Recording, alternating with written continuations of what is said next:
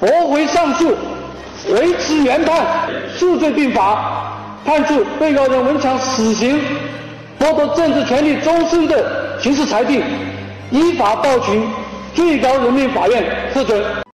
打手们将谢英宽团团围住，一把夺过他的手机，狠狠摔在地上，一脚踩得粉碎，说他妈的谢姐不认识还冒充，问他究竟是干啥子的，想给谁告密。谢英宽是奉命来赌场侦查，见已经暴露，只得公开身份，高声喊自己是警察，问他们想干什么。话音刚落，拳头和棍棒劈头盖脸的向他头上砸去，血水顺着谢英宽的脸颊流淌下来，一瞬间他什么都看不见了。谢英宽下意识的蹲在地上，双手紧紧护住头部，高喊他是警察，他在这里执行任务。喊他们不要乱来！歹徒毫不理会谢英宽的警告，继续棍棒相加，狂妄的叫嚣：“老子今天打的就是警察！”不一会，见谢英宽昏了过去，歹徒将他装进麻袋，拖上了一辆长安小货车，迅速驶出福泽生态园。在车上，几个人开始搜查谢英宽的挎包，找出了一盒印泥、一沓笔录纸，并从他身上搜出了警官证。这些可能是警察办案用的东西啊！几个人还是有点心虚。倘若这个警察真有个三长两短，麻烦就大了。他们电话问谢姐，刚才那个人真是警察，该怎么办？电话那头的谢姐不慌不忙的发出指令，说警察算什么？把他丢在荒地里喂狗。一个小时后，小货车来到几十公里之外的南川区，在城区一处偏僻的荒野停下。几人打开车门，七手八脚将蒙着头的谢英宽扔下车，并朝其身子踢了一脚。随后几人上车扬长而去。警察被打事件让王立军异常震怒，他下令立即行动。几天后，犯罪嫌疑人刘景勇被抓获。之后，南岸区人民法院以赌博罪判处刘景勇有期徒刑一年，而主犯谢姐却未能归案。王立军知道。这个谢姐大有来头，王立军指示成立八点一四专案组，把谢才平列为网上逃犯，继续缉拿归案。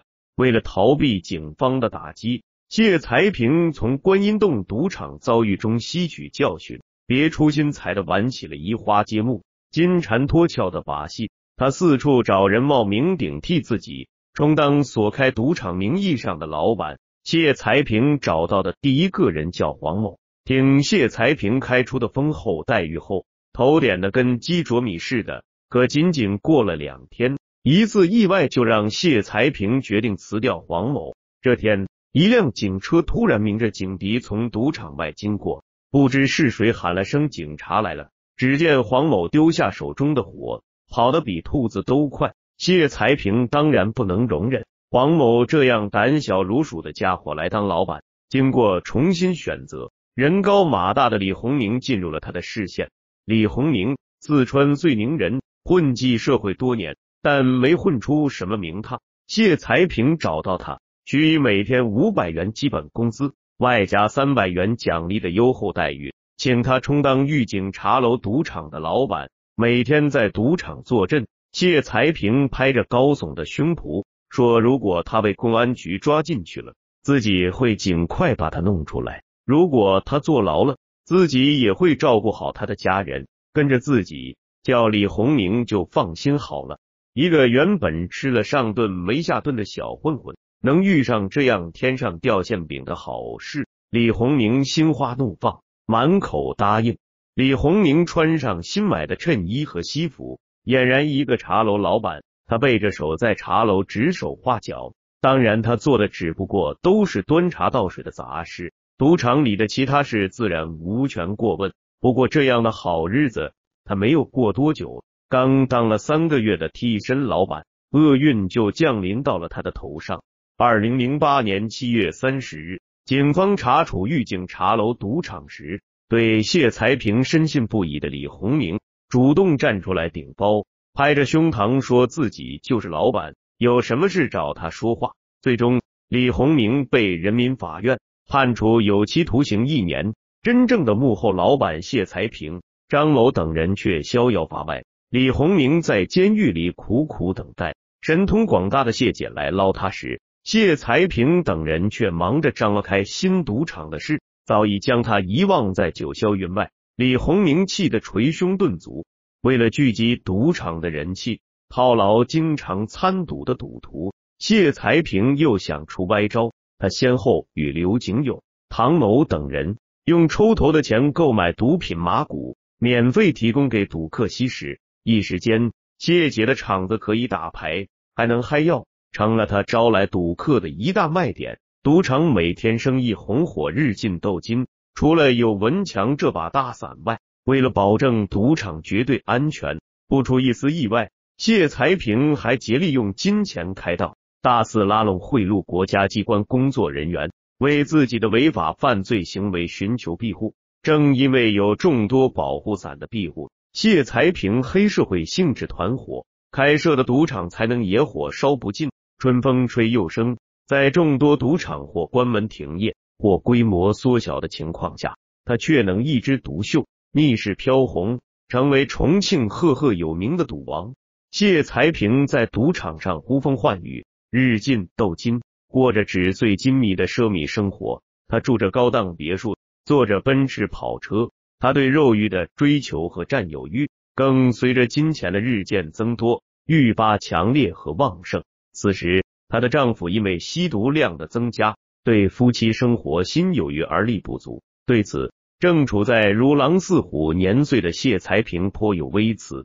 谢才平私下的抱怨。得到了铁姐们的同情，他们纷纷为其支招，劝他找个帅哥在身边。二零零七年春天，谢才平在一家海鲜酒楼吃饭时，终于碰上了他心目中的帅哥，二十六岁的罗旋。罗旋身高一米八十二，精明强悍，一身紧绷绷的腱子肉，让谢才平顿生无限遐想。加之罗旋酒量好，嘴又甜，又会体贴照顾人。谢才平与罗旋一拍即合，很快就眉目传情起来。一顿饭的功夫，罗旋的一张甜嘴将谢才平哄得前仰后合，笑声不断。谢才平也拿出大姐大的做派，热情邀请到他这里来，给他开车。做姐的保证不会亏待他。罗旋见谢才平有钱有势，巴不得攀上高枝，于是。两个年龄相差二十岁的男女一拍即合，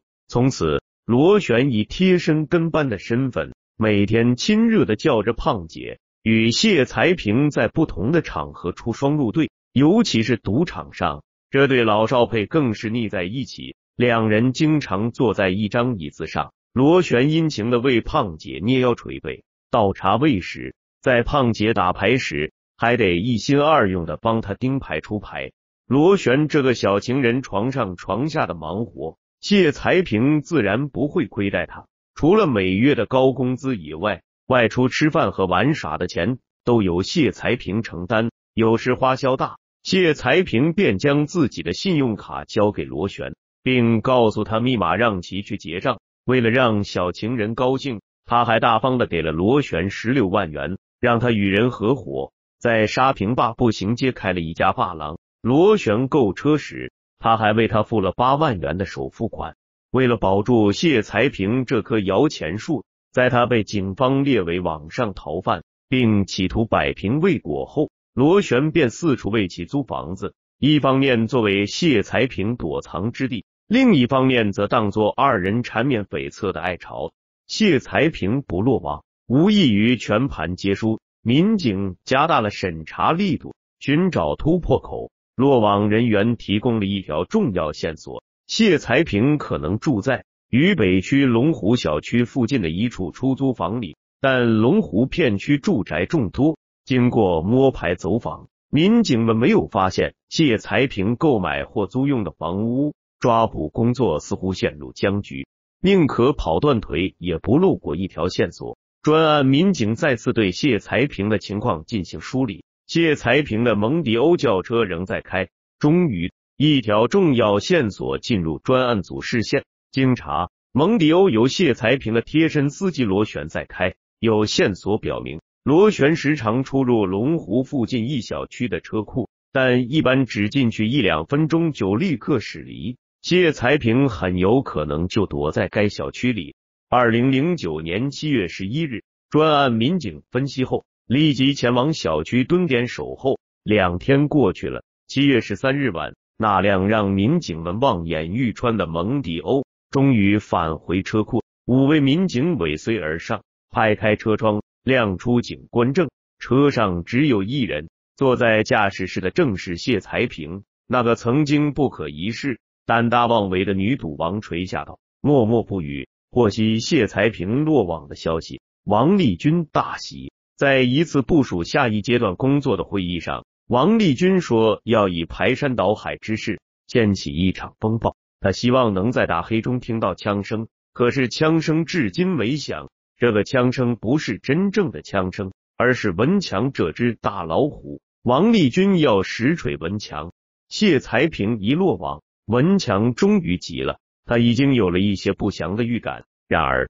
更让他担心的还没到来。就在谢才平被抓获的第二天，二零零九年七月十四日，重庆渝强实业集团公司董事长黎强被警方拘留。重庆渝强实业集团公司董事长黎强头顶的红帽子，有一大堆重庆市人大代表、巴南区政协常委、区工商联会长、是道路运输商会常务副会长、中国道路运输协会、出租与租赁协会常务理事等等。黎强掌控着重庆主城区近二十条客运线路，满身荣誉，风光无限。实际上，他就是主使多起砸车。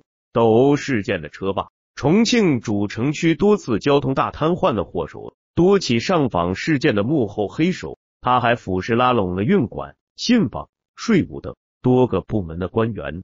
早年的黎强并不起眼，曾经在食堂煮过饭，在工厂当过电工。一九九六年，黎强看中了班车客运市场，于是与别人合伙成立于强公司跑运输。由于重庆地势山高坡陡。公交和班车客运是重庆市主要的交通工具，黎强正是看中了这样一个巨大的市场，才开始搞运输。短短几年，他就成了重庆市声名显赫的富豪。但是和许多其他富豪不同的是，黎强攫取财富的手段靠的不是商业智慧，而是赤裸裸的暴力。二零零七年八月，黎强要求十一个从事客运的个体户。必须把车辆和一切营运牌照交给于强公司。在二零零三年前后，这十一人每个人都花了数十万元购买了客运车辆和营运牌照。现在他们不得不把车辆和牌照送给黎强，因为如果不顺从，就会有人来打，往死里打。黎强叫嚣打死了就打死了，二十万就把事情解决，或者等待他们的是。有关部门把执照注销，这样车不能开，也无法年检，就只能报备注销。这样一来，车子被没收，而且一分钱的补偿都得不到。个体车主们便只好和黎强签订不平等的转让协议。在签转让合同的时候，除了车主外，还有另外一批人涌入现场。这些人有的是平头，有的是光头，有的还纹身。粗粗的黄金手链、项链霸道的晃荡在他们强壮的机体上。他们从一辆客车上摇摆下来，站的站，坐的坐，眼睛毒蛇信子一样，在个体车主的脸上舔来舔去，吓得车主们都不敢说一句有意见的话。就在这样令人恐惧的气氛中，黎强公司不断发展壮大。黎强不仅善于使用暴力，对欺骗手段同样在行。有三十八位客运个体户被黎强骗走了客运车辆和营运牌照，而他们连一分钱的补偿都没有得到。二零零六年，重庆出于增强公交公司承担风险能力等诸多方面的考虑，对公交公司规模设限，要求至少五十辆车才能经营。这三十八位客运个体户在黎强的欺骗下挂靠到余强公司，一开始。黎强这样向三十八人承诺，车子他们坐就是了，只要他还在这个公司，到时候换车也好，有什么事也好，不要找他们办事人员，直接找他，所有的费用都不收他们的。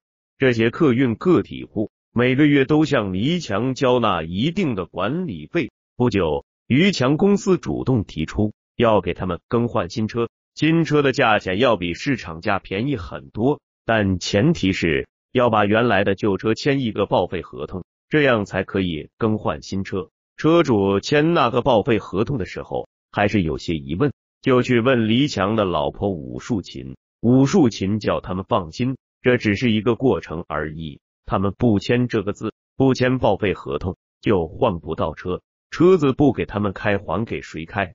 就这样，这些车主全都把自己的车，连同一切营运权利，交给了于强公司。可是接下来的遭遇却出乎他们的意料。于强公司强硬的宣布，那个车子跟他们没什么关系了，车子收回来就收回来了。车主们感到被欺骗了，都很着急。三十八名车主来到了于强公司寻求说法，他们坐在公司的会议室里，要求和公司协商解决问题。突然，他们看到院子里驶入两辆车，下来的一帮人把他们吓坏了。来人都是二十来岁的小伙子，清一色的光头。拎着钢管木棍进门就打，一时间血肉横飞，有的人脑袋被打破，鲜血直流；有的人浑身青紫，哭爹喊妈。也就是几分钟光景，这帮人打完就撤。撤离的时候，一个领头的歹徒说：“谁敢再来找于强公司，就打死谁，休想要于强公司一分钱。”由于这些车主们当时买车几乎全都是借款，在经历了这次劫难之后。他们的生活陷入了困境。车主简少杰因为失去了全家生活的来源，曾经投河自杀，现在靠编织竹筐维持生活。朱文玉的女儿本来已经考上了大学，但是因为没有学费，而不得不选择了放弃。靠着这样的方式，黎强迅速兼并了许多的客运个体户，成了重庆市名副其实的客运大王。事业迈上新台阶后的黎强。开始用暴力手段来对付他新的竞争对手，这些对手中既有其他民营客运公司，也有国营公交公司。巴南区许多公交司机都曾遭遇过黎强马仔的围堵拦截，给轮胎放气、砸挡风玻璃、威胁驾驶员。不过，黎强这么靠打砸抢一路走过来，真正在背后给他撑腰的，并不仅仅是那些光头打手。重庆市沙坪坝区运管所原所长肖庆龙，重庆市巴南区公路运管所原副所长蒋红，重庆市信访办来访二处原处长江春燕，这些都是黎强的强力支持者。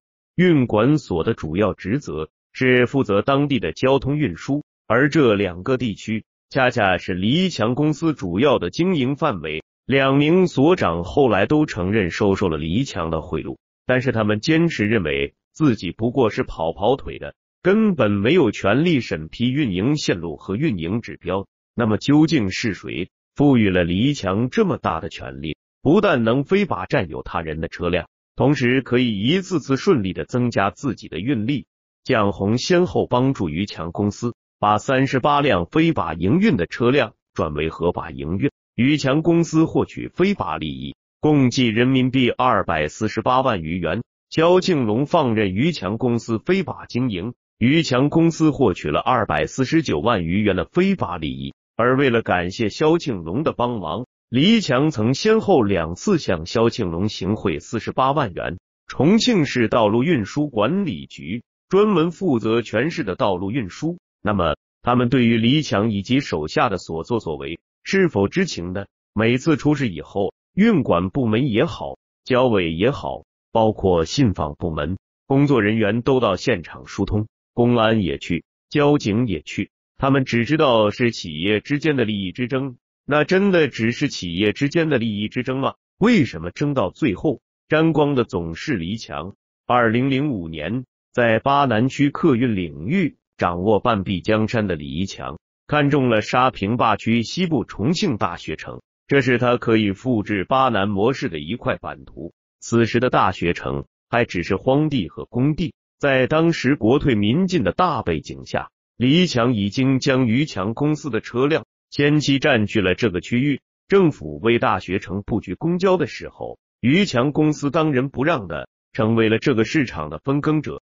大学城的客运市场在经历了漫长的谈判之后，成立了一家名为学海的公司。这家公司于强下属的强劲公司占百分之四十九的股份。李一强在二零零六年八月九日的最终谈判前，多次找到该公司相关负责人，约他到茶楼喝茶。李一强喝了一口茶，大声道：“他给百分之十的干股，但大学城公交的控股权要给他。这百分之十的干股折算为资本金是二百万元。”后来，这位负责人才知道，李一强有一个让人惊愕的招数，他是随身带着录音设备的。谈到关键的地方，比如要给多少的好处，他一定会抬高声调。如果贪心的人一旦接受了他的条件，甚至说可以考虑，就会成为未来他要挟人就范的重要证据。李强靠着偷录这一招，摆平了不少生意上的对手和官员，有的人就乖乖的与他合作，或者乖乖的成为他的保护伞。李强被捕后不久，二零零八年轰动全国的重庆出租车罢运事件真相才浮出水面。当时，重庆有关部门调查结果认为。罢运事件的导火索集中在以下四个方面：一是二零零八年以来，重庆市三十二家出租车公司对部分出租车驾驶员每日增收份子钱五十元至七十元；二是出租车驾驶员认为出租车起步价较低；三是出租车加气难，等待时过长；四是黑车非法营运，扰乱了出租车营运秩序。事实上，这起事件背后的真正组织者正是黎强，为了向政府索要更多的政策，谋取自己更大的利益，黎强不惜向政府叫板，策划了这一事件。二零零八年十一月二日，黎强安排妹夫何永召集公司旗下四个出租车分公司开会，传达十一月三日全市出租车将会发生集体停运，并有人在停运当日。对营运的出租车进行打砸的消息，要求分公司经理在当晚召集所有车主开会传达。该消息随即通过分公司经理迅速传达到所有车主。媒体在二零零八年报道时曾指出，在出租车罢运前的一星期，十一月三日要罢运的消息就已通过传单、网络、车载电台等形式。在各个出租车公司的承包车主和司机之间迅速传开。二零零八年十一月三日凌晨至四日中午，重庆主城区八千余辆出租车多数停运。当时有一百多辆试图营运的出租车被砸坏，各大出租车公司都在尽力搜集自己公司车辆被砸坏的证据。李强却没有这么做，相反。他竭力将参与砸车的于强公司一名员工保了出来，高调的支持砸车行为。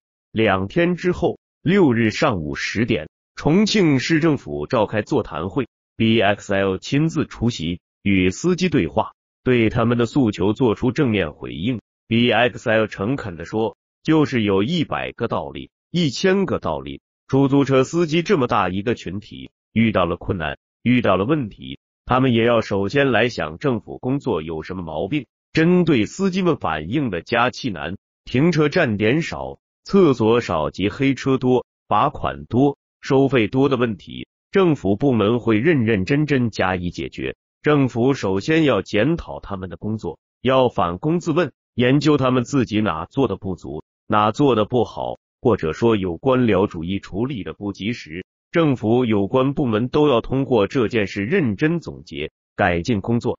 让司机们感到欣慰的是，BXL 的亲自对话意味着政府对问题的重视和解决问题的诚意。众多证据表明，李强涉嫌策划2008年重庆十一点三出租车罢运事件，而李强的小舅子武树峰、妹夫何永红则是该事件的主要领导者。黎强的江湖兄弟来友刚和黎德明曾参与以砸车方式阻止车主上街运营，出租车分公司经理刘朝富等人也组织人员打砸营运车辆。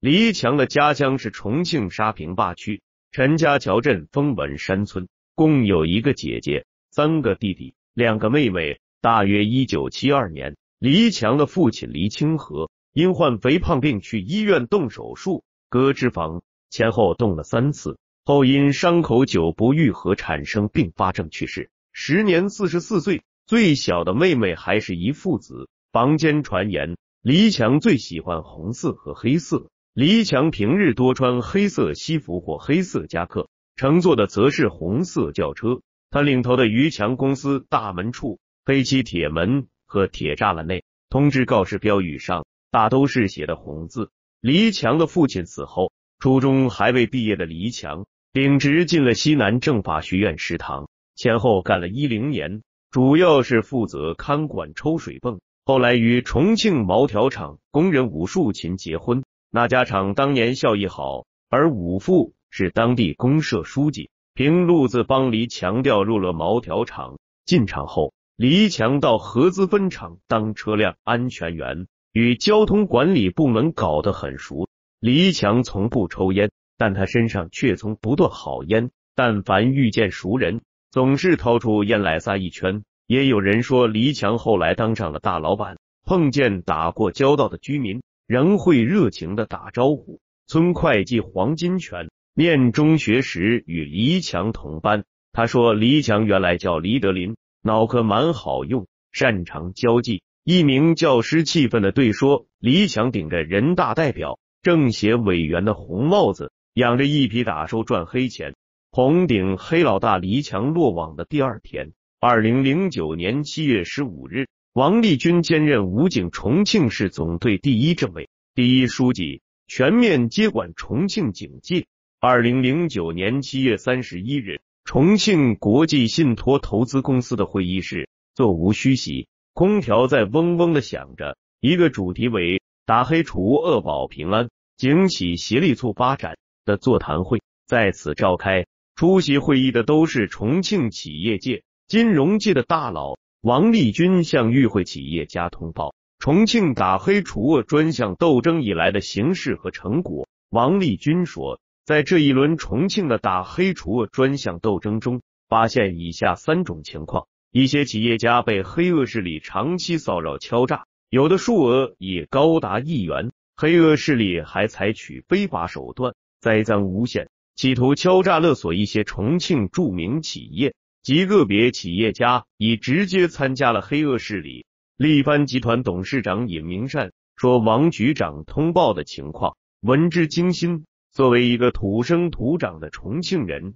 也难以接受重庆打黑除恶斗争中面临的严峻现实。打黑大快人心，人民过上了好日子，企业搞经营才有希望。这一场战斗不仅行动坚决果断，而且讲政策。”对企业很爱护，他重点提议警方要打击赌球。他说自己有二十多亿资产，一生一分钱也没有赌过，但他是赌球的受害者，在足球上已花了三亿多元的资金。但为什么重庆足球、中国足球老是上不去？他认为主要是有法不依、执法不严、违法不究。中国足球的黑幕很多。球市的建设是精神文明建设的一部分，打击假球也是对社会信任的重建。希望公安机关能管管足球。不知道是否是巧合，几个月后，中国足球界的打假风暴强劲刮起。尹明善说：“干警很辛苦，他们愿意捐献一笔钱，在座的企业捐个千万元是没有问题。”王立军连忙说：“谢谢大家的好意，但是他们不能接受。”一家制造企业负责人诉苦说，他们公司有三千多人，年销售规模超过二十亿元，但他们的发展不是市场的问题，而是遭到黑社会的胁迫，被敲诈欠下大笔债务。王立军点着头，右手在空中挥动，黑社会团伙在国外的账户已被封存，敲诈他们的钱将退还。另外，他们欠的一亿多元也将一笔勾销。在他们企业的案件中，体现了司法的公正性、公信力和人性化。对他们企业的搜查本来是凌晨去的，但他们选择了一个最好的时间。他。还专门打电话问了有没有老人和孩子。他告诉同事一个案例：警察要学会和谐，调查问题能不去警局的就不去，或者在对方指定的办公室谈话都可以。这一轮打黑除恶专项斗争，绝不是胡子眉毛一把抓，公安机关不会几乎有余、沉思不足，而是重点打击八大类刑事案件。对于前期接受调查的企业，被封账目要及时启用；对于涉案逮捕的企业老板，已和当地政府协调实施平稳过渡。王立军指出了重庆社会治安的两点事实：涉黑案件的总体特点是时间长、跨度大、背景深、人数多、质量高、影响恶劣。重庆警方历史欠账多，有六十多万起积案未侦破。最后，王立军郑重承诺，将从警方内部挖出黑势力的保护伞，还安宁给人民。这么多涉黑事件，矛头都指向了文强，尽快控制文强是重庆打黑的关键。两千年下半年，文强升为正厅级侦查员，此后一零年文强再无升迁，这是为什么呢？首先，文强的左膀右臂和亲信不断的惹是生非，而且这些事情已经和文强扯上了关系，文强自己也很清楚。只不过文强不清楚这事情有没有传到重庆甚至四川省以外的地方，所有文强在很多事涉黑问题上都是纵容和包庇，甚至逍遥法外。直到事情越来越大，文强也知道为时已晚了。二零零九年八月六日，文强正在参加全国司法厅长座谈会，一群便衣警察突然出现在他身边，文强推了推眼镜。轻声的问他们是哪里的，他脸部的肌肉在不由自主的颤抖。当来人掏出警官证，并宣读重庆市公安局的拘捕令时，他知道自己的自由没有了。文强最初对专案组审讯人员说，自己想吃的时候就要让他吃，想睡的时候就要让他睡，别想用那些手段对付他，那些东西还是老子发明的，并且还扬言不判他死刑就罢了。要是判了他死刑，没那么便宜，他什么都要说出来，大家就等着一起死。二零零九年八月七日上午，重庆江北机场从北京飞往重庆的国航四一四一九航班飞行员目睹了一次特殊任务。重庆市司法局局长文强在一群便衣警察的簇拥下，被带上不远处的警用防爆车。王立军。站在防暴车前，双手习惯性的交叉放在胸口，旁边是一个正在拍照的警务人员。这一次，王立军没有和文强握手。被双规后，文强知道自己不招供一些违法事实难以过关，最初便装出很坦白的样子，在审讯时天天讲自己喜欢女人和玩女人的大量故事，他还主动讲述一些强奸少女。玩女明星的过程，他说：“但凡有女明星、女歌星到重庆走学演出，只要能想到办法搞定他们，包括用钱买、利用女星的隐私恐吓他们等，他都要和这些明星睡一觉。”文强对十四岁以下的未成年少女很感兴趣，他经常让人物色人选，然后带到酒店开房，给这些女孩子一出手就是十万元。多年来与多名小女孩有染，其中也涉嫌强行买春的行为。那些都是由黑帮的头目为拍马屁主动给他找来的。黑帮也留了一手，他们怕文强将来不认账，偷偷将其发生性关系的过程予以录像。后来这些录像都到了专案组手上，专案组将这些嫖娼录像拿给琪琪、周小亚看。女人最不能容忍自己的丈夫在外拈花惹草，她大哭不止，骂文强是个畜生。随后，周小亚讲出了丈夫的一些问题，还将办案人员带回自己在巴南区南泉风景区小泉别墅的楼顶，放干楼顶鱼池内的水，挖出了两千万赃款，那些钱一扎扎堆的整整齐齐，都用油纸包的紧紧实实的，一点都没有进水。重庆素有火炉之称，为避暑，别墅的业主们喜欢在自家楼顶置一鱼池，没想到这里成了文强藏赃款的地方。文强既然甘做一些黑恶势力的保护伞，而这些黑恶分子不少都是亿万富豪，文强的收益自然不会低。单仙女山镇的两幢别墅就占地二十余亩，地是人白送的，房子是开发商帮忙建的，价值三千余万元。目前专案组查实的文强房产共有八处，其中四处是别墅。家中被搜出的现金多达三千八百万元。专案组将缴获的实物在达黑成果展上进行了展示，五件文物古董，包括佛头、象牙雕刻、两个清代瓷瓶、张大千的真迹画王、山云泉，都是文强的受贿品。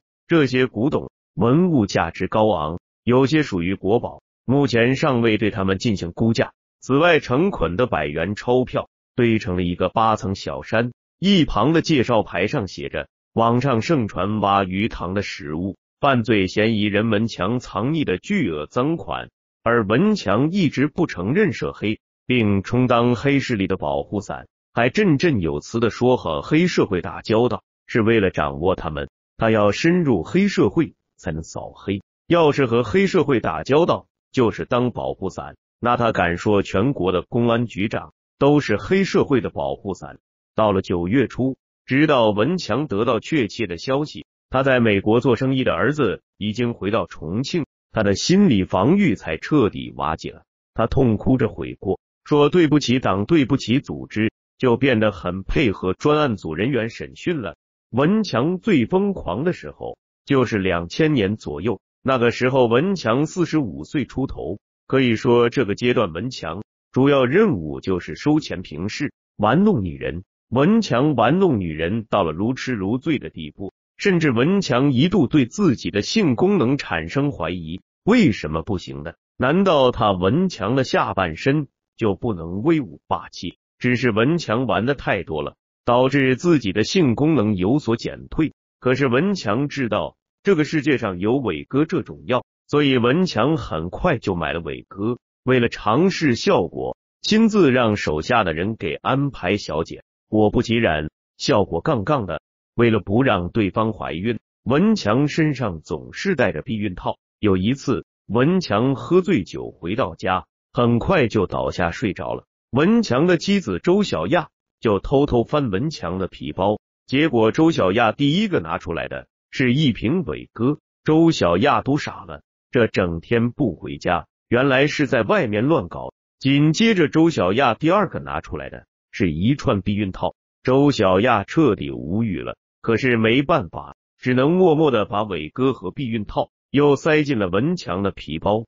说文强和女人的故事之前，先给大家介绍下文强的几个主要人员。一个叫岳宁，白宫夜总会老板。其实夜总会大家都知道怎么回事。只不过岳宁的这个夜总会比较齐全，除了正常的唱歌、找小姐以外，还给大家提供毒品以及吸毒的场所。时任重庆市公安局治安总队原副总队长陈涛接到了举报，说白宫夜总会有人卖淫嫖娼，涉嫌聚众吸毒的情况。陈涛立即带人去查场子，果不其然，很多抓了个现行。岳宁心想，这是哪路神仙，竟然敢查他？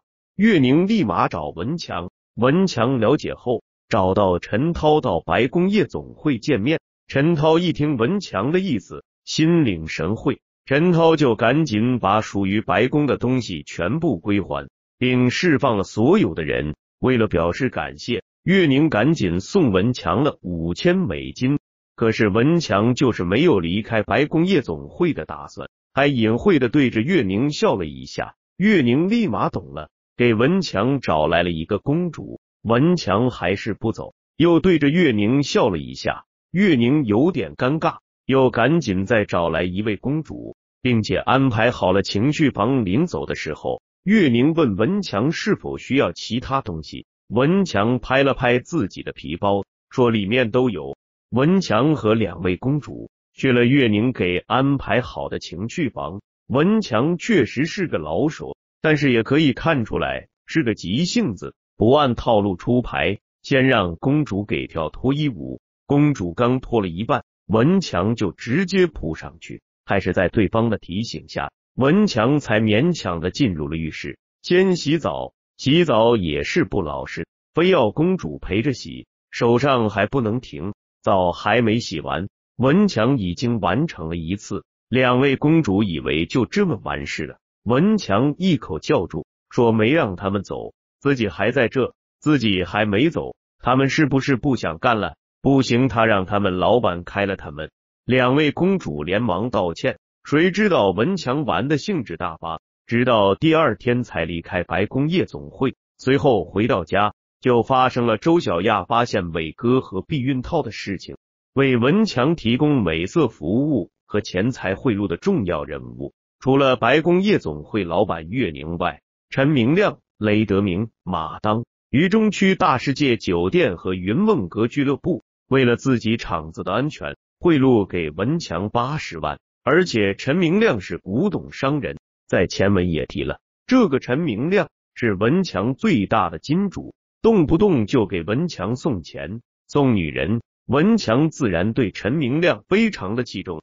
有一次，文强来到了云梦阁俱乐部，看到陈明亮后，文强开门见山的说给他找几个小姑娘，不要岁数大的。陈明亮自然是心领神会，直接找了几个小姐。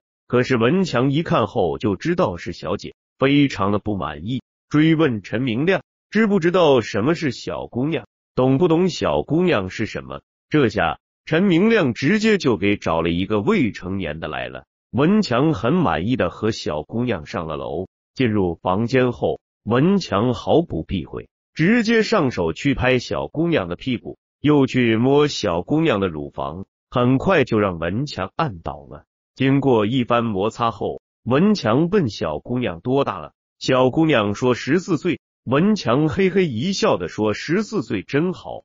自从这件事后，文强就告诉陈明亮，以后别找小姐了，十四岁的真好。陈明亮点头哈腰的说没问题。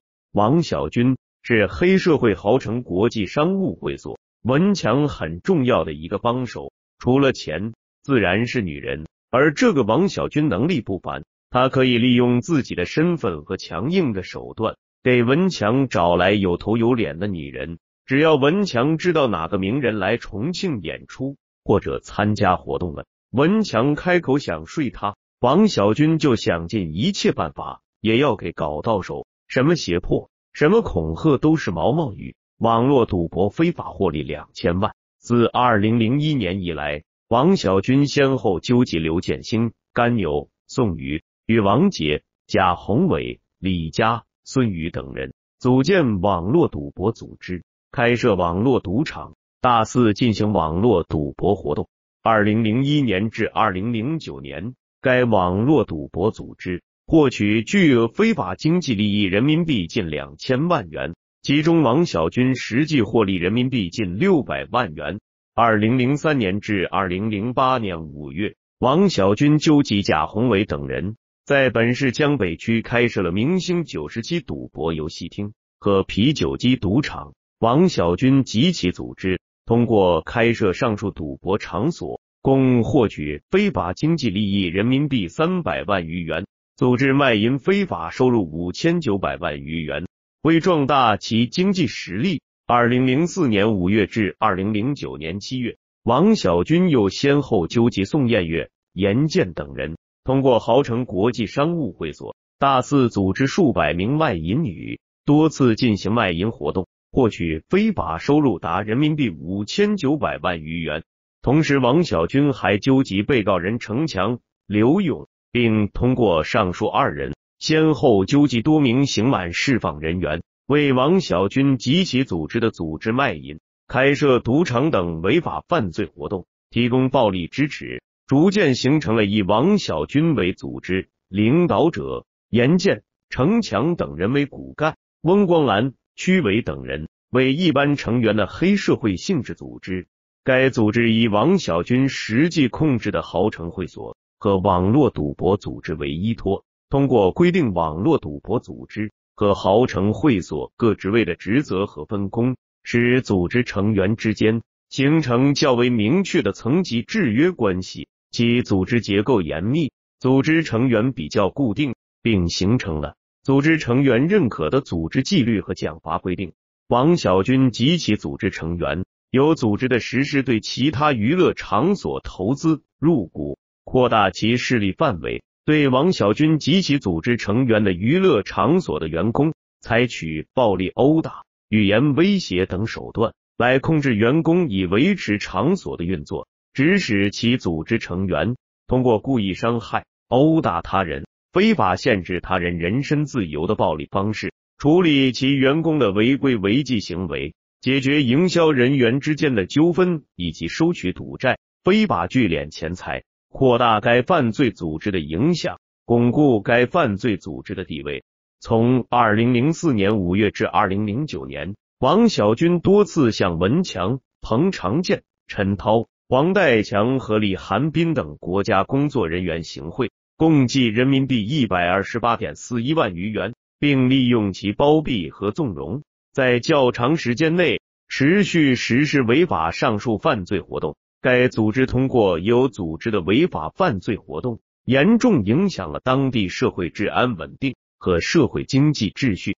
检察机关还指控豪城公司在王小军的指使下，从二零零四年五月至二零零九年七月，逃避缴纳税款共计人民币一千零六十一万余元。王小军组织领导其组织成员为逃避依法查处隐匿会计凭证、会计账薄，情节严重。网上盛传文强睡过的女明星名单很全很具体，也说明这些并不是空穴来风，而且有的大家可以好好回忆一下，那几年是不是有的明星突然没有消息了，或者说某个明星在文强任职期间。去重庆演出或者参加什么活动了？网上曝光的有十二人，还有相应明星的详细信息。其实就在文强开会期间被抓的同时，重庆公安也同步进行去了文强的家里查找证据。到了文强家后，文强的老婆周小亚正好在家。周小亚抱着狗自言自语的说话。其实周小亚看到警察进门的那一刻。已经知道文强肯定是出事了，但是周小亚压根不问文强的情况，而是自言自语的骂文强不是个东西，常年不在家。文强去北京开会的时候，他自己已经有了不祥的预感。他告诉周小亚，如果自己没有回来，肯定是出事了，让他找黄代强，说黄代强是他最新来的心腹，因为黄代强那里有文强的一笔巨款。黄代强帮忙藏了三百一十一万现金。警察在文强家搜查的时候，每打开一个抽屉，里面都会有一沓钱，有的红包都没有打开，甚至上面都积了灰尘。警察打开后，除了人民币，还有外币。文强为了藏钱，可以说家里能塞的地方都塞了，保险柜就买了好几个。就这样，钱还是放不下。于是为了安全起见。周小亚弟弟周泽新将六百万金银首饰和手表藏在了一个亲戚家。十一月八日，三辆警车、十名警察去渝北区磁竹乡一个亲戚农家院的水池里，发现了两个旅行袋、周小亚的收钱账目和放水账本。账本的发现，直接可以给文强和周小亚定罪了。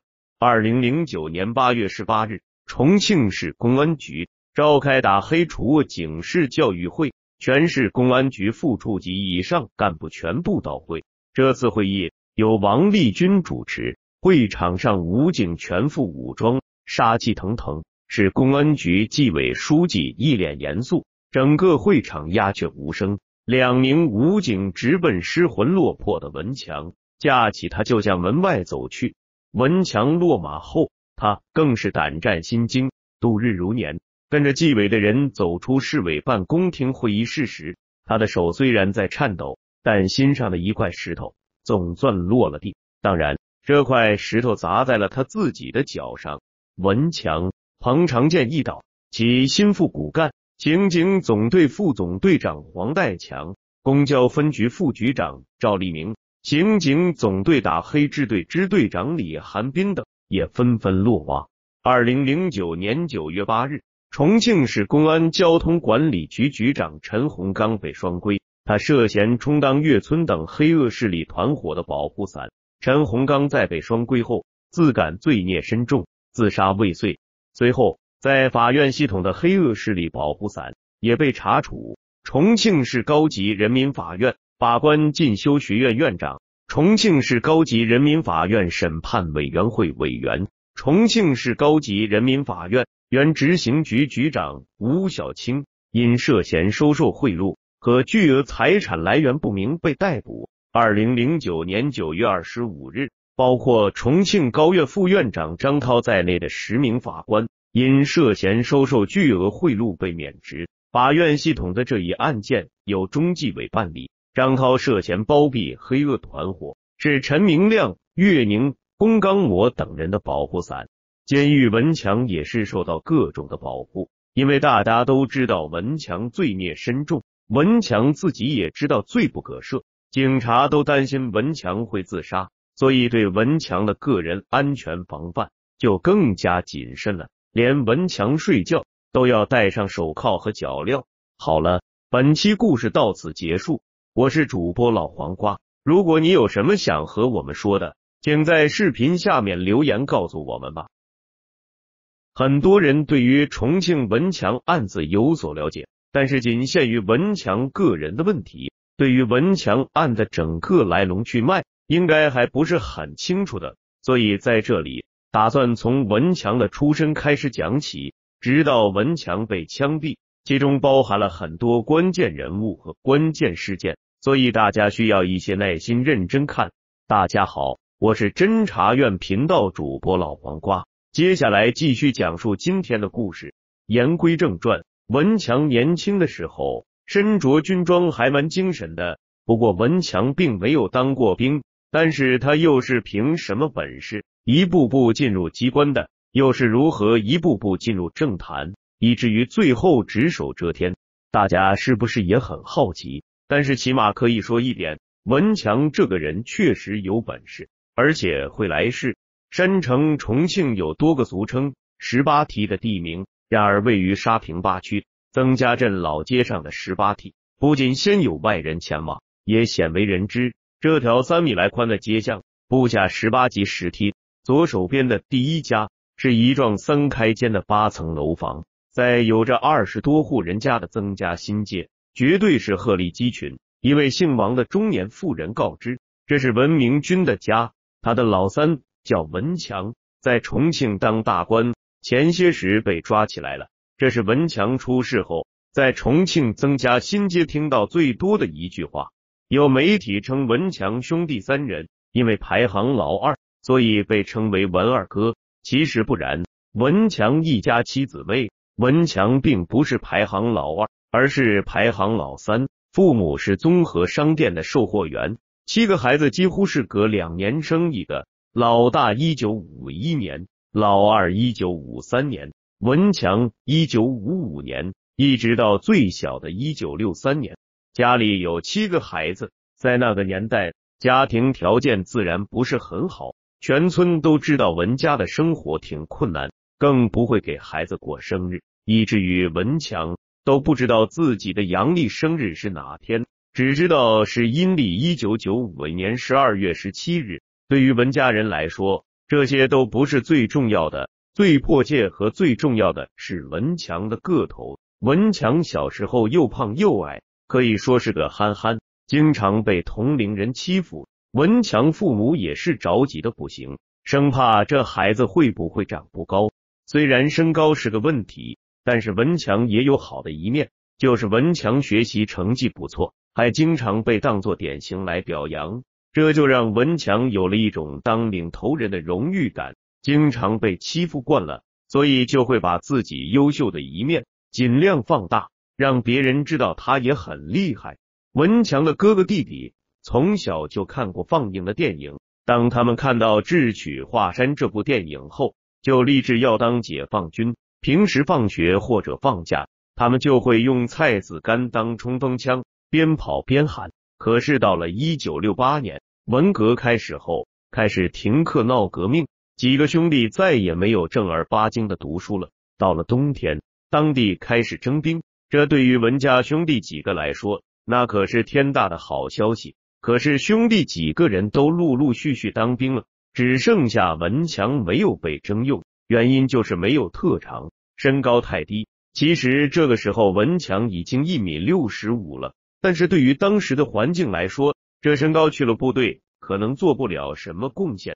没有当成兵的文强自然有点失落，加上文强平时不爱运动。一九七二年底，初中毕业的文强就去了曾家回龙大队当知青。文强父亲文明军祖籍并非曾家镇，而是几十公里外的九龙坡区函谷镇。二十岁那年，他便来到了曾家镇，不久认识了练传芳，从此在该镇扎下根。解放后，文强的父母一直在镇上一家综合商店工作，那时两人的月工资都是十八元。在街坊眼里，文明军一天最多能说上五句话，而练传芳则遇见什么样的人都谈笑自如，也颇讲义气。几位上了年纪的邻居说，文家的孩子都有点接母亲的性格，其中文强身上尤其明显。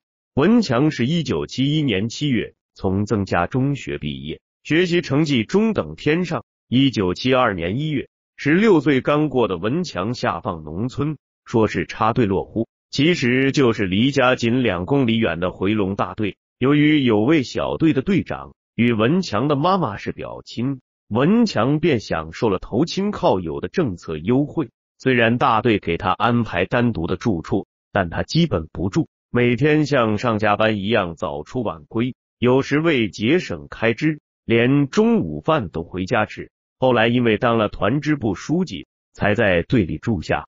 几位上了年纪的农民介绍，文强插队期间很勤快，栽秧、割谷、漂草头、守鸭棚都肯干，越是人多干的越上进。当时的文强比较随和，当时每次到大队部开会的间隙，他总爱喊文强的外号“文瞎子”来下盘象棋。文强不但不恼，总是笑呵呵的跟他厮杀一番。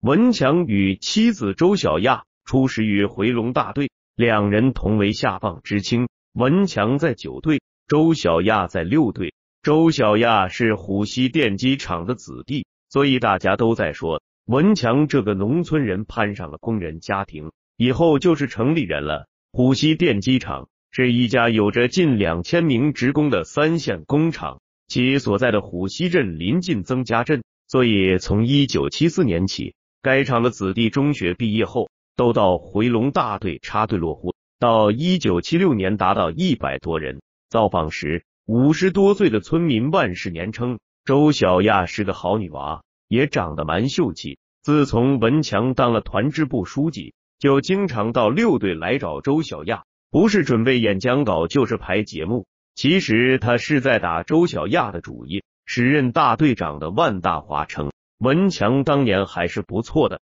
吃得苦。也有组织能力，大队就让他当了团支书。而记者了解的情况是，大约是一九七六年上半年，附近军用机场的一架训练机失事，迫降在一条小河沟旁，机上两人受伤，呼救后被一群人抬到了医院。当时组织人员施救的人是文强，文强的一位八小，当年下放到另一个大队，他也称第一个赶到现场。组织救援的人是文强，其理由是文强事后在全公社的知青表彰大会上曾就此做过典型发言。找到当年一位抬过担架的村民询问时，他坚称在施救现场没见到文强。事后，文强被任命为大队团支书，同年底还入了党。当年全大队的一百多名知青中，只有文强和电机厂一位姓李的子弟入了党。一九七七年底，社会上恢复了高考。文强由于是大队里的优秀青年，就被推荐到了四川省公安学校。没想到文强竟然考上了，从此再未到过回龙村。可是这个时候，文强和周小亚的关系发生了微妙的变化。现在变成周小亚担心，担心文强走出去后再也不回来了，经常追到文强家。找到文强的母亲，说已经和文强在一起这么多年了。言外之意就是，除了生米煮成熟饭以外，其他的都干了。文强母亲听完后，就给周小亚做保证，文强是不会变心的。一九八零年三月份，文强毕业后分配到巴县公安局，周小亚返回城里，继续在虎溪电机厂当工人。本来文强是要留校的，但是周小亚坚决不同意，要求文强立马回来和他结婚。二十世纪八十年代初，文强与周小亚领证结婚，但是那个时候都困难，结婚并没有办理酒席。第二年就有了曾家的儿子文家浩，因为文强年轻，而且有警校的背景，很快文强的机遇就来了。文强在基层公安局得到了机会。一九八三年，全国严打正式开始，文强已经是八县公安局的严打骨干力量了。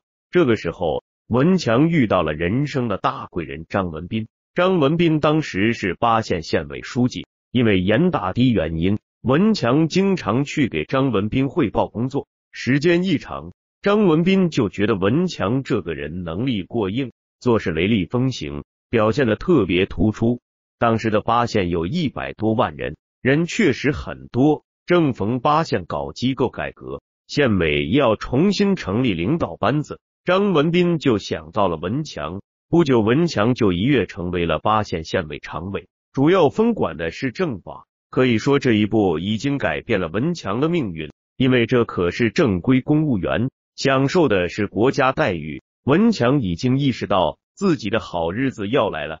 果不其然。一九八五年，不到三十岁的文强晋升为八县县委副书记。不到两年的时间，文强可以说是仕途一帆风顺。虽然资料上没有详细说明文强的工作内容，但是可以看出，文强一定是一个会来事、会做事的好人。正是短时间的火速提拔，让文强对于权力和地位更加痴迷，因为一切来得太快，来得太容易了。文强自己都想不到，三十岁的他已经是一个县的副书记了。一九八五年这一年，八县组织对越自卫反击战的前线功臣进行战绩报告，台下的听众就有将近三万人。报告里面正好有文强的弟弟文元，他参加过越战，结识了四个战友，可惜在打猫耳洞的时候死了三个。复员后精神上有了问题，动不动就打人。后来经过确认为精神病，后半辈子就在医院度过了。此时文家的七个孩子，其中五个当兵，一个当县委副书记。老三文强成了闻名天下的黑社会保护伞，变成了十恶不赦的黑社会。老四文建部队复员后，也进入了公安系统。老五在虎溪机电厂工作，属于第一批下岗的工人。老六文斌当兵回来后，找到谢才平，正是这个谢才平给文家引来了毁灭性和摧毁性的打击。老大文万勤在中国农科院柑橘研究所退休，老二文论一直待在部队。文强自从当了县委副书记，回家的次数就少了。那个时候，八县在搞小城市建设，文强负责现场蹲守。那几年，八县在重庆的地位十分突出，已经成为全国一百个产粮、产肉、财政收入的大县之一，其中产肉全国第一。一九九一年，由于长期在岗位上不回家，再加上周小亚对文强的父母照顾不周，周小亚和文强经常吵架，这个家闹的是鸡飞狗跳，兄弟姐妹轮着劝说。到了一九九二年，文强从八县。调任到重庆公安局当副局长，当时文强的贵人张文斌已经是重庆市委副书记兼政法委书记。这一调任标志着文强彻底的摆脱八县，来到了重庆。文强终于进入大城市。刚来重庆的文强心里很忐忑，因为从县城到大城市是不一样的。文强有点自卑，觉得自己是个乡巴佬进城。一九九二年，文强的儿子文家浩上四年级。文强反复提醒儿子要谨慎，因为大城市的人太多了，容易接触到不好的东西。而也在这一年，文强的老婆周小亚也被调任到重庆市天然气公司上班，这可是个很好的工作。文强老家也盛传过一句话，就是周小亚也去大城市当官了。紧接着，文强的好运又来了。一九九七年，除了香港回归，还有一个大事，就是重庆成为直辖市。一九九七年三月十四日，全国人大通过表决。一九九七年六月十八日，正式挂牌成为直辖市。一个重庆市管着半个省的地盘，也就是小马拉大车的局面。那个时候，重庆市委书记张德林试图从外地抽调三千名干部到重庆，但是最终没有完成目标，任期就结束了。重庆下属的四十个区县的三千名干部都顺利的获得了升迁，文强也顺利从一名局级干部飙升为直辖市的厅级干部，主管重庆主城区。和下辖四十个区县的公安工作，可以说文强的权力在重庆已经很大了。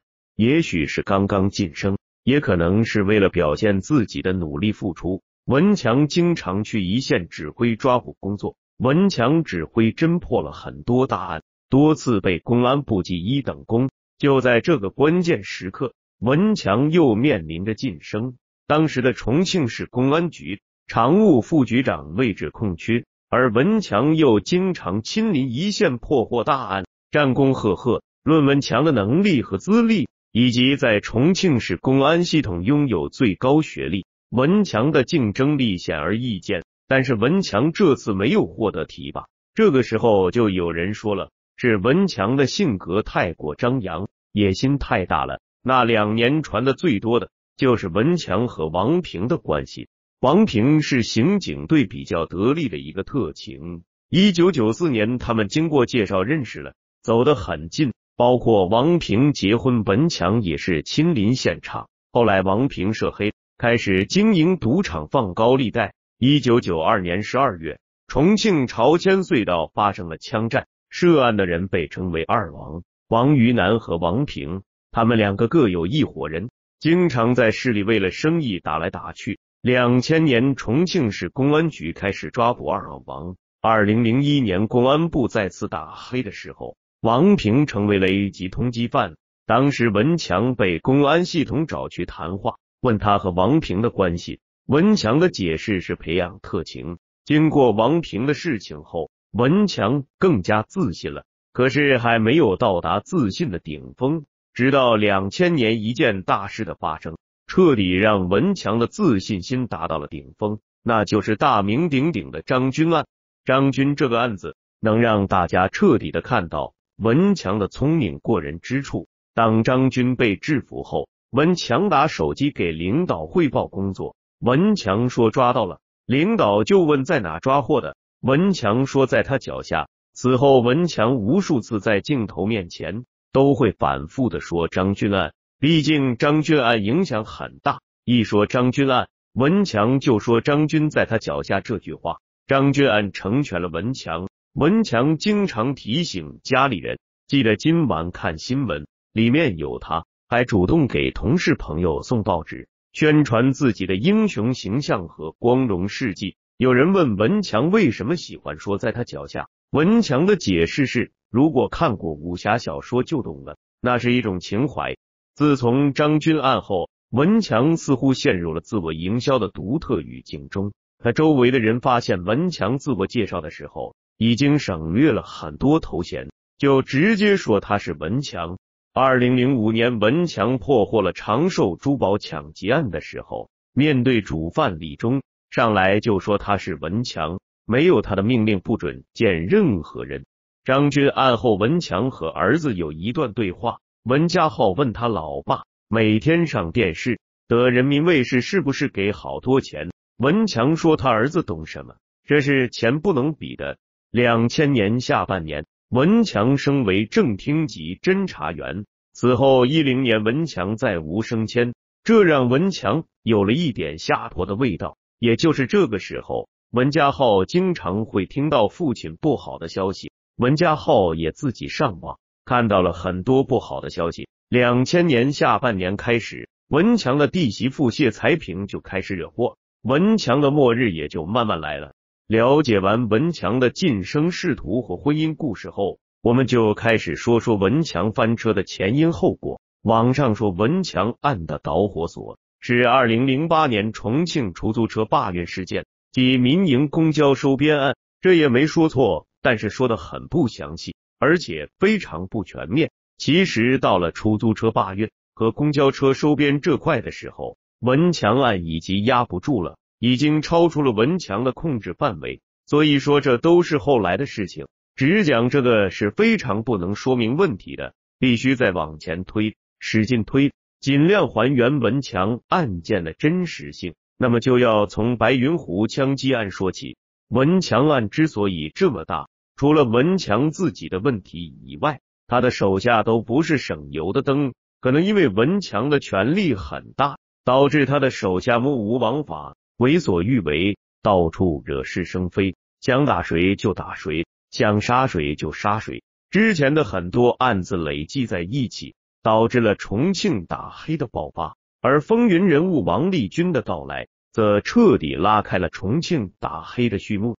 白云湖位于重庆的璧山县，白云湖的四周全部都是高山、树林和群山环绕，是个极为隐蔽的地方。在这里有一家度假山庄。叫白云湖度假村，其实度假村只是个名字，里面真实的内容是百家乐赌博，从地下室一直到三楼全部都是，最多能容纳上百人。这些人有的百家乐，有的扑克，有的赌球，输赢数目都很大，很多人由于输钱而无法自拔，家破人亡。而这个赌场的老板就是文强的弟媳妇，老六文斌的媳妇谢才平。文强和老婆周小亚还有股份，谢才平可不是省油的灯，可以说他把文强害惨了。谢才平，江湖人称谢姐，原是巴南区一名税务人员，后来通过文强调到重庆市税务部门。因为有了文强这个关系，再加上谢才平本身就是大赌徒，在文强睁一只眼闭一只眼的情况下。谢才平在重庆把赌场开成了连锁店，导致规模太大，就是因为太大的原因，让人给举报了。但是文强每天都在忙其他的事情，他也没有注意到谢才平发展的如此之快。还是被人举报后，文强才意识到谢才平这事做的太过分了，很容易引火烧身。因为谢才平是弟媳妇，这关系太明了。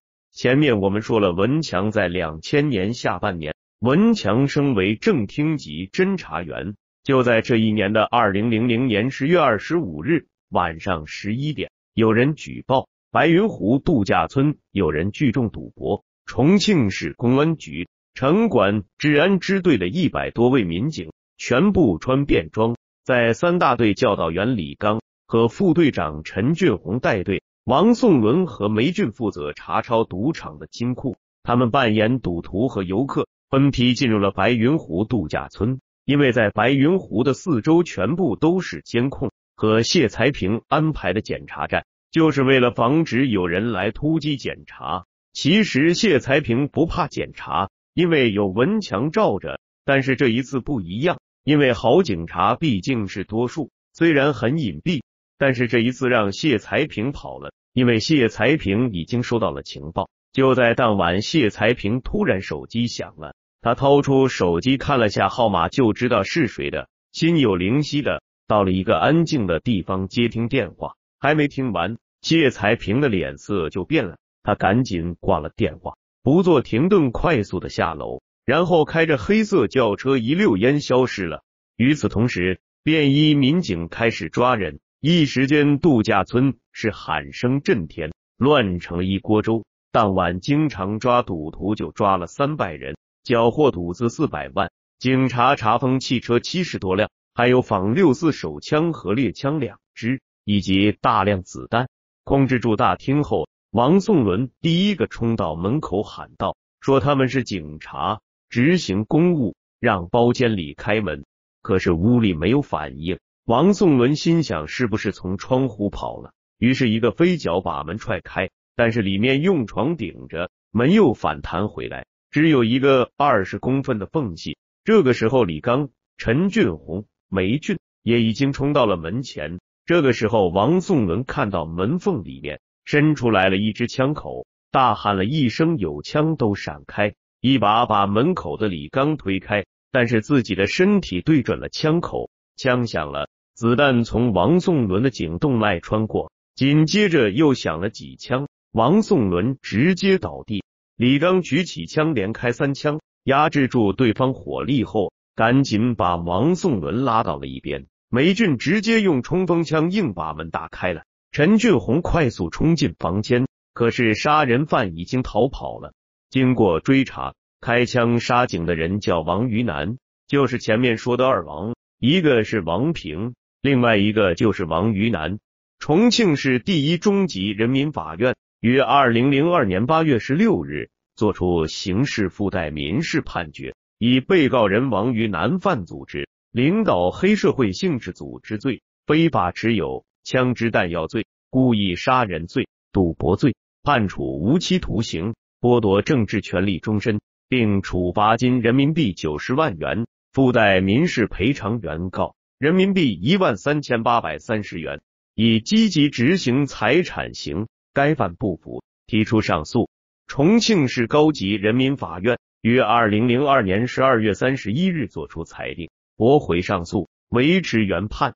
判决发生法律效力后，刑期自二零零二年十二月三十一日起，于二零零三年一月四日交付执行。二零零五年九月三十日，经重庆市高级人民法院作出刑事裁定，减为有期徒刑十九年六个月，剥夺政治权利九年。二零零八年八月二十日，经重庆市第五中级人民法院作出刑事裁定，减去有期徒刑二年。二零一二年八月二十八日，经重庆市第五中级人民法院作出刑事裁定，减去有期徒刑一年十一个月，缩减剥夺政治权利二年，刑期至二零二一年四月二十九日止。也就是说，王于南出狱了。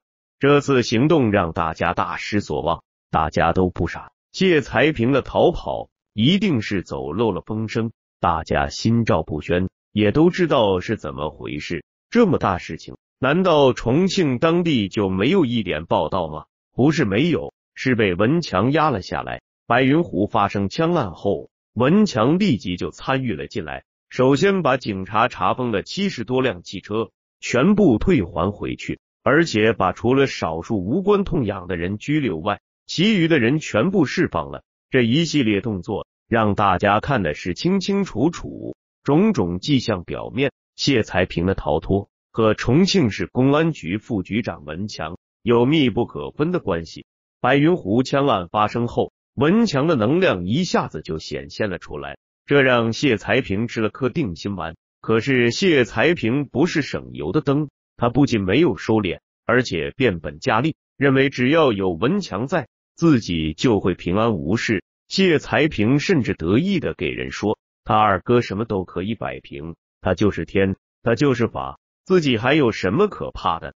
也就是这次后，谢才平开始在重庆布局他的赌场连锁店，在老百姓眼里，谢才平就是文老大的弟媳妇，警察没人敢去查，一时间谢姐的名声大噪，牛气的很。紧接着，谢才平为了打造繁华的景象，处心积虑。让自己的丈夫文斌利用三哥文强的影响，出面找当时渝中区公安分局局长彭长建来关照老婆的生意。彭长健心领神会，亲自给下属的几个部门打招呼。眼看着谢才平的生意越来越大，文强的老婆周小亚也红了，于是周小亚加入投资赌场，坐等渔翁得利。周小亚的加入。让谢才平更是高兴的不行，因为谢才平认为，只要嫂子加入，就说明文强也是默认的，更能说明文强一定会罩着他。同时，也传出一个信号：谢才平的厂的谁也不许查。二零零二年五月四日凌晨，黎忠明伙同明德伟、郑继全、王瑞红，带着刀和枪来到了渝中区的彩虹酒廊消费，飞来酒去。大呼小叫中，和王琦几个人发生了口角，言语自然是不和的，而且都是道上人，很快就动起手来。黎忠明几个人直接在彩虹酒廊把王琦给打死了。这里要说说黎忠明这个人，黎忠明为什么可以这么肆无忌惮？是因为他认识陈明亮。这个陈明亮可是文强的重磅人物。陈明亮是个古董商人，后面我们会说文强家的文物和财产。陈明亮是文强的最大最重要经济来源之一，是文强的大金主，所以陈明亮和他的手下可以肆无忌惮的打打打杀杀。这下大家明白了吧？等说文强自己的问题时，我们再好好说文强身边的这个重磅人物。二零零三年十二月十五日这一天出了个大事，永红食品有限公司和重庆金普食品公司老板王天伦惹事了。王天伦主要做的是猪肉食品这块的生意，依靠涉黑的暴力威胁、强迫交易等手段，垄断了重庆百分之四十一的猪肉市场。与百分之七十的生猪供应源市场，所以大多数重庆猪肉商收到的猪都要交给王天伦的公司进行屠宰，然后再由王天伦的公司进行销售。可以说，重庆的猪肉价王天伦说了算。但是一个叫潘贵生的人并没有这么做。王天伦的小弟王宏伟向王天伦的弟弟王东明汇报了这个问题，王东明立即安排自己的小弟唐有斌。带几个人去教训潘贵生。有一天，当潘贵生经过一段路的时候，这些人直接用木棒打潘贵生的头，造成潘贵生颅骨粉碎性骨折，抢救无效死亡。二零零七年初，重庆市警方以侦查潘贵生命案为突破口，侦办王天伦为首的黑社会性质组织犯罪案件，并将涉案多人抓获。王天伦为使其弟王东明和其团伙成员逃脱法律打击，先找到重庆市公安局刑警总队九支队副支队长李志。王天伦送上一捆现金给李志，说一点小意思，麻烦他跟兄弟们打打招呼，通报点情况。李志假装推脱了一下，把装在一个纸袋中的钱收了下来，回家一点十万元。第二天。李志从中拿了三万元给民警周红平，请他帮忙了解案情。随后，王天伦为了打探更多情况，又向多名民警送出数万元。二零零七年九月，王天伦找到重庆某酒店董事长李劲松，拿出一张卡，说：“听说兄弟在重庆警界神通广大，这里是五十万元，帮他联系文强。这个案子死了人，比较麻烦。”恐怕只有请文强关照，才能对付过去。李劲松和刑警总队副总队长黄代强，他们关系比较铁。在送给黄代强十万元后，李劲松说明了来意。黄代强说：“要不这样，他约文局长吃个饭，倒是王天伦也到场，让他见机行事。”数日后，在一家蛇餐馆，酒酣耳热之后，李劲松送给文强二十万元。文强回去后，就安排将该案移交给文强的左膀右臂黄代强办理。黄代强心知肚明，就不组织民警开展侦查工作，中断了该案侦查活动。现在我们回过头来，再看看文强弟媳谢才平。经过上次的事情后，谢才平知道了文强的厉害，更是明目张胆的开赌场了。在文强支起的巨大保护伞的庇护下，谢才平开赌场就更加肆无忌惮，进而逐步演变成为黑社会性质的犯罪团伙。虽然有文强的强力庇护，但到了二零零五年，谢才平还是翻了一次船。二零零五年十一月二十九日晚，谢才平伙同他人在渝中区长滨路观音洞开设赌场，被辖区公安分局。出动二百余名民警，一举端掉，缴获一大批赌博工具，一百零三名涉案人员被抓获，现场缴获赌资三十五万元。至此，这个开办五年之久、非法敛财达三千余万元的赌场寿终正寝。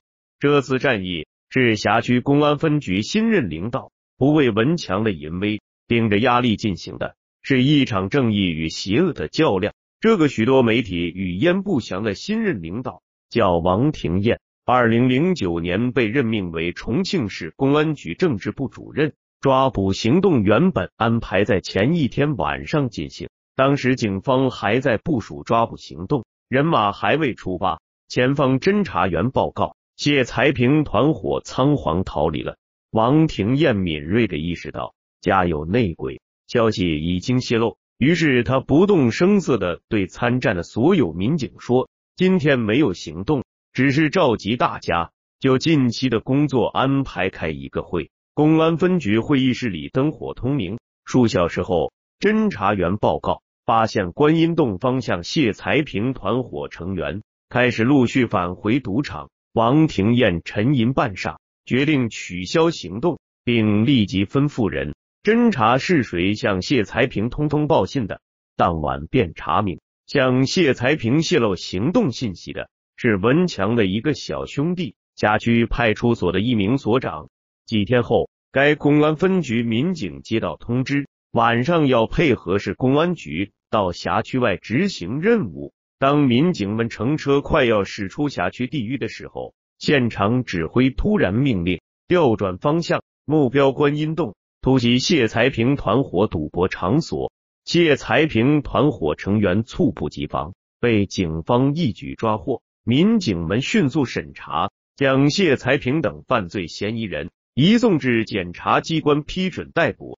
此时，气急败坏的文强公然指示有关部门。以证据不足为由，不予批准谢才平的落网，让文强恼羞成怒。文强对心腹恶狠狠的说：“王廷艳算老几？老子一定要招呼黑道和白道的人收拾他。”谢才平被抓后，文强立即给辖区公安分局两位领导打电话，要求他们对谢才平按一般治安案件处罚，同时委托有关人员。对谢才平关押期间给予关照，但王廷艳坚持原则，顶住了压力，坚决将谢才平送上了法庭。二零零六年四月，谢才平因涉嫌赌博罪，被渝中区人民法院判处拘役五个月，并被税务局开除公职。二零零六年下半年，刚出来的谢才平就迫不及待的重招旧部，准备东山再起，把几个月的损失找回。此时，文强已升至市公安局常务副局长，谢才平更加有恃无恐，因为赌博而发生的案件也越来越多。二零零八年七月底，做土石方生意的唐某经人介绍来到谢才平等人在大竹林碧湖山庄开设的赌场里豪赌，唐某先小赢了几把，一大堆的百元大钞瞬间就摆在他的面前，唐某兴奋不已。不过接下来他就傻了眼，不仅输掉了先前赢的钱，而且还倒赔进去十二万元，越赌越眼红，越输越要赌。在疯狂的翻本心理下，他又在赌场里借了七十四万元的水钱，结果也输了个精光。二零零九年六月三日上午，向唐某放水九万元的谢才平团伙成员赵波，在路上发现了唐某。正开着一辆黑色现代越野车晃悠，赵波摇下车窗吆喝：“好你个唐老鸭，借钱没还，还敢开着好车到处跑，给他停车！”唐某一踩油门，没头苍蝇似的东拐西窜，赵波紧跟着一路狂追，在合川区一家宾馆外，将唐某的越野车逼到角落，赵波停下车，从后备箱里操起一把刀。冲到现代越野车旁，叫唐某给他滚出来。唐某吓得关紧了车门。赵波敲打着车窗，威胁数到三，再不滚出来，他就砸了。唐某连滚带爬下了车。赵波把寒光闪闪的刀架在唐某的脖子上，吓得唐某连忙说：“马上还，他保证最近筹钱还上。”唐某说：“赵波掏出笔纸扔到引擎盖上，给他写个借条。”赵波说。唐某写：今借到赵波人民币十五万元整，一周内还清。唐某喊赵波大哥，没这么多，加上利息也没这么多。赵波把刀架到了唐某的左手上，叫他少废话，利滚利，懂不懂？赵波一用力，唐某的左手鲜血横流，那张十五万元的借条也被鲜血染红了。二零零八年六月，王立军调入重庆。任重庆市公安局党委副书记、副局长。二零零八年八月初的重庆愈发炎热，正在紧张的部署工作的王立军突然接到一个电话，电话那头报告王局长，一个农民爬到了三十多层的大楼上，非要见他，说见不到他就跳楼。王立军叫电话那头告诉农民，他马上到。王立军问清地点，火速赶到了现场。朝天门附近的一幢高楼下，拉起了警戒线。消防官兵已经张开气垫，但如果人从三十多层的楼上跳下来，掉到气垫上的希望相当渺茫。小伙子已经在上面待了四个多小时。王立军二话没说，直奔楼顶。王立军看到了在楼顶边缘疲惫不堪的小伙。小伙对着试图接近他的警察吼叫：“别过来，再过来他就跳下去！”他要见王立军局长，他要找王局长申冤。看得出，小伙的精神已经到了崩溃的边缘。一个警员看到王立军到来，立即对着小伙高喊：“王局长来了！”王立军走到前面，高声说：“他就是王立军，有什么情况向他反映，他一定秉公处理。”他一边说，一边向小伙走去。王立军还没走到他身边，小伙腿一软，差点跌倒。王立军一个冲上去扶住他，把他背了下来。小伙子大哭，说：“王局长要给他们一家伸冤。”王立军硬是把小伙背下了楼。后来，王立军了解到，这个小伙子是重庆市长寿区渔民易大德的三儿子。二零零八年七月二十九日。是易大德的三儿子三十岁生日，热闹的生日宴会正在进行中，欢声笑语，觥筹交错，其乐融融。突然，近百个持刀执棍的人冲了进来，他们是重庆大鸿湖水产有限公司纠集的打手，对易大德说：“今天如果他不答应把鱼塘无条件交出来，一切后果自负。”一个家伙挥舞着铁棒道：“易大德愤然说。”他是有承包合同的，二零一二年才到期，鱼塘他可以交回，但相关的补偿条件必须谈妥。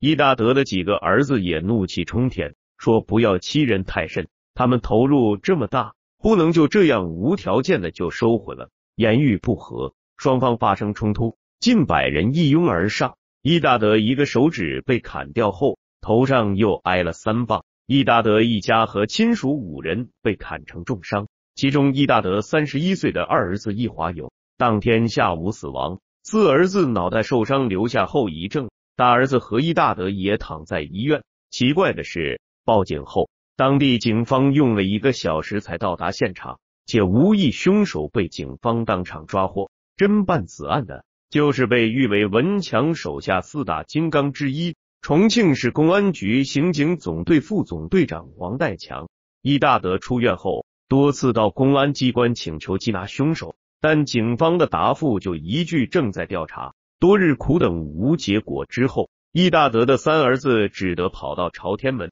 爬上一个三十多层的楼房。王立军了解到，易华勇的尸检结果为倒地硬物撞击死亡，一家不服。王立军说：“请他们放心。”自己亲自来做鉴定。身兼国际法医颅面鉴定协会副主席的王立军亲自操刀做尸检，结果易华勇的死被王立军鉴定为打击颅脑损伤死亡。数日后，王立军到长寿区召集相关部门人员，就一家的案子进行座谈时，他悄悄对易大德自己是个农民，他也是个农民，官商勾结他也告得赢。王立军从易大德案中看到了重庆黑恶势力的猖獗，也看到了隐藏在警机的保护伞给民众带来的严重伤害。他暗暗下定了决心。一波未平，一波又起。二零零八年八月十四日晚，重庆市南岸区迎龙镇福泽生态大观园里，三幢别墅灯火通明，烟雾缭绕，赌徒们沉浸在疯狂的刺激中。门外，三名身材高大的男子和一名身着保安制服的人正在巡视，不时用对讲机通报情况。突然，身着保安服的男子发现一个身背挎包的人朝大观园走来，立即用对讲机招来其余三人，冲了过去。四个壮汉冲到了便衣警察谢英宽跟前，还没等谢英宽把话说完，一个身高马大的壮汉突然对其面部猛击两拳，谢英宽猝不及防摔倒在地，四人朝着他猛踢。穿保安服的家伙再次狠狠的问他到底来干啥？不说就弄死他。谢英宽嘴角流着血，说他是谢姐的朋友，过来打牌。穿保安制服的男子通过对讲机将情况通报到了别墅里。此时别墅里热闹非凡，二三十名赌徒正手舞足蹈的围着桌子下注吆喝。赌场正中，一个略微发福的妇人大声吆喝着赌徒们。开始新一轮赌局。接到情况通报后，刚才吆喝开船的中年女人走出别墅，举手投足俨然大姐大的派头。她冷眼瞟了谢英宽一眼，嘴一撇，面无表情的说不认识，扭头就进了屋。